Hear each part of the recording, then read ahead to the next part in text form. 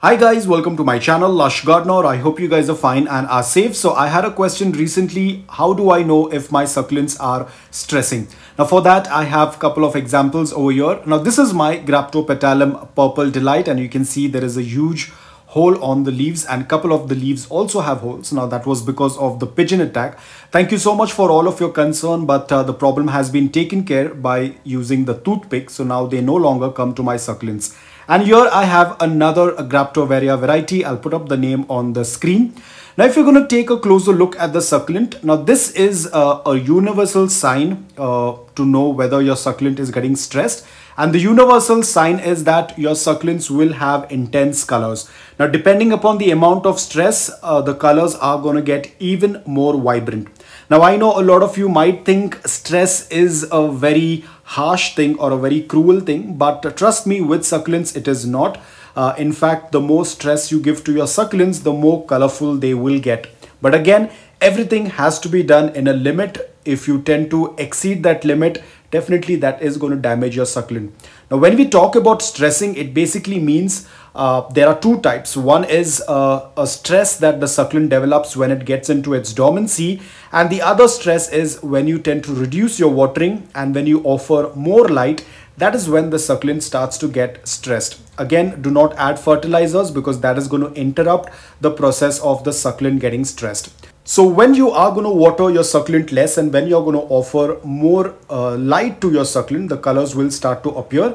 And another feature, you will start noticing that the crown area will start to close inwards. That indicates that your succulent is getting stressed. Now, as I said, there is no harm in stressing your succulents as long as it's done within the limit. Meaning, do not uh, water your succulents too less otherwise the succulent will get dehydrated. Do not offer too much of light otherwise the succulent will get burnt. So you have to be extremely careful. Now this can also happen during dormancy. Here is my echeveria chihuahuensis you can see the leaves are closing inwards. This is a sign of dormancy. So even when the succulent tends to go dormant, the leaves will start closing inwards. And when the succulent is getting stressed, the leaves will start getting inwards. The whole purpose of this is called as the survival mode.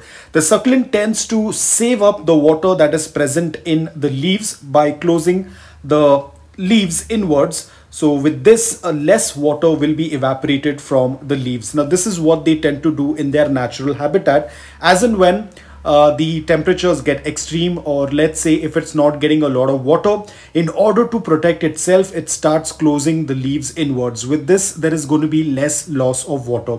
So there are a couple of reasons when this happens. One is when there is less water when there is extreme heat or when there is extreme cold. So even though this is absolutely normal there is nothing to be worried but it is very important for you to know why your succulent is stressing one, is it because it's in a dormant period? For that, you will have to know what is the ID of the succulent or at least the genus of succulent. Now, for example, over here, my Echeveria is getting dormant because it's winter, so I do not need to be worried much.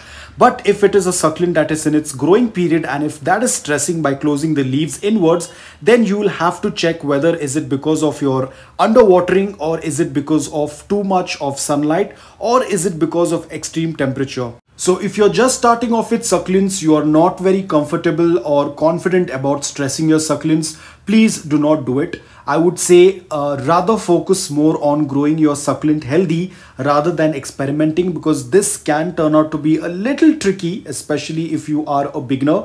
Uh, stressing of succulents in case if you happen to underwater it too much or if you happen to give it too much of sun there could be a negative effect on the succulent. So it all depends uh, how confident you are with it but if you are just starting off with succulents let's say you have just purchased a succulent like two or three months back please do not get into stressing your succulents. Let your succulents get adjusted and adapted in the new environment. Do not put them right away in stressing. Otherwise, that is going to create an issue on your succulents.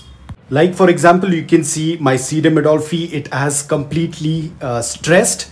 Uh, because this succulent has been with me for a couple of years now, probably over four or five years. I have done a lot of cuttings, I've taken a lot of uh, stem cuttings from them. That's the reason why they are still very small because I keep taking cuttings from them. But if you're going to take a closer look, you will be able to see they are uh, very stressed. They have this very intense color, but at the same time, you won't be able to see any wrinkles on them because I have an experience of stressing them. I exactly know where I can push the limit, uh, where I know that uh, it will no longer be able to take that stress. So you need to have a little bit of experience when you're dealing with stress. Uh, do not put a lot of pressure on them. Otherwise, as I said, either they will get dehydrated or they will get burnt in the sun.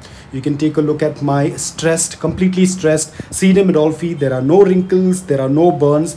They look absolutely beautiful with those intense yellow color.